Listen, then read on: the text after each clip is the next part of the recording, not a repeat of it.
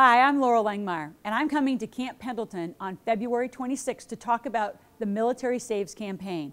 I'm going to show you how to build wealth, not debt, and really take advantage of finally starting your financial freedom for the rest of your life.